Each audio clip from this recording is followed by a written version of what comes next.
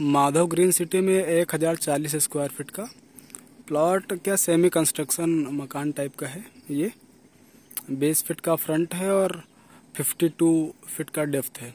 पूरा फेसिंग है और प्लॉट के सामने पच्चीस फीट की रोड है और आसपास घर बनाकर लोग रह रहे हैं। ये जो प्रॉपर्टी है ये आपका सी ब्लॉक में है, माधव ग्रीन के सी ब्लॉक में और ये आपका सिवाय लॉन आपका जस्ट बगल में है। पूरा फेसिंग है, सीवर है, गैस पाइपलाइन है। सारी सुविधाएँ हैं यहाँ पे। ये वाला है। ये।